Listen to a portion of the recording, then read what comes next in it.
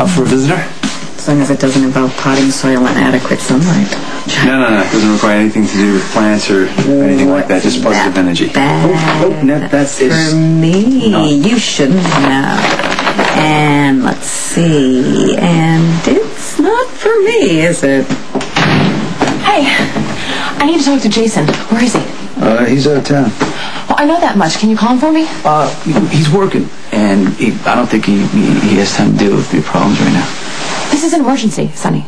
Are you bleeding? This Is this about Michael Moore? No, the boys are fine. Okay, then it can wait.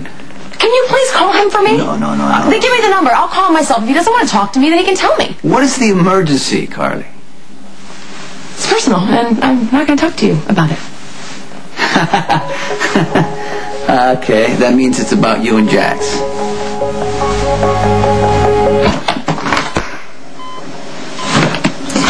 Sure Carly will be really thrilled with this. Yes, thank you. I know what you're going to say, so just. You don't know what I'm going to say. Yeah, you don't know what I'm going to say at all because I'm too tired to tell you that your heart is going to be paled on her. Oh, come on. My heart is perfectly safe with Carly.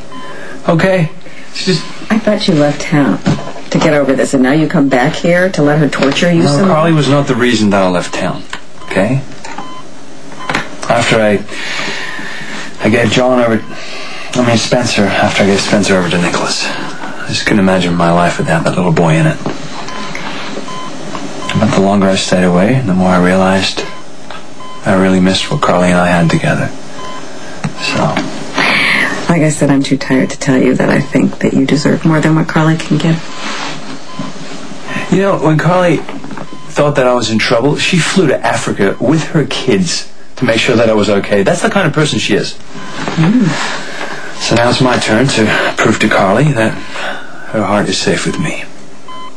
You flew all the way across the world to find Candy Boy, and he's already treating you like a piece of dirt.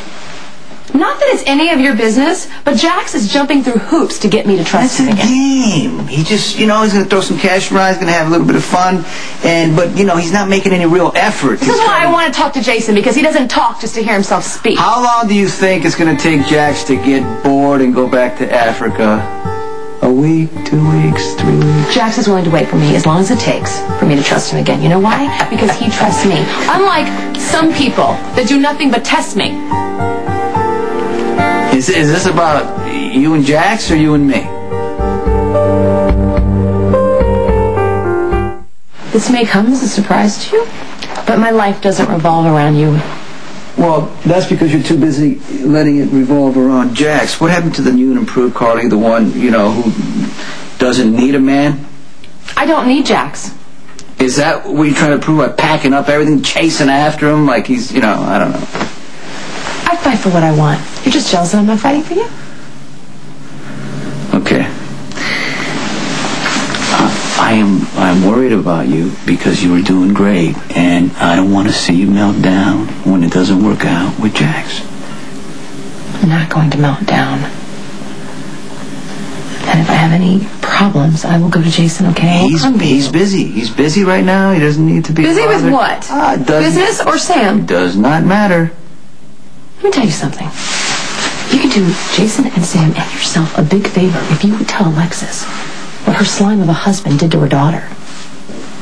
I know how you are in relationships. You just get right in there, and then your heart breaks, and then you get all hurt. Is that what you want to have happen again? There's no such thing as love without risk, okay? Mm. Unless, of course, you're happily married. Oh, yeah. And no guarantees to that either. I want you to write this down. What? Life is fragile, and so is love. That doesn't mean we should live in fear of either one. You know better than anyone what Carly is capable of. Oh, yes, I do. Yeah, she gives the best. Oh my God, I'm sick enough already. Oh, please. Come, oh, my point is, listen, the thing that draws us to the people that we love, okay, is what makes it risky to be in a relationship with them in the first place. I mean, you really, you don't know how solid anyone is until things start to get rocky. They can be really good in a crisis and really bad on a day-to-day basis. Yeah.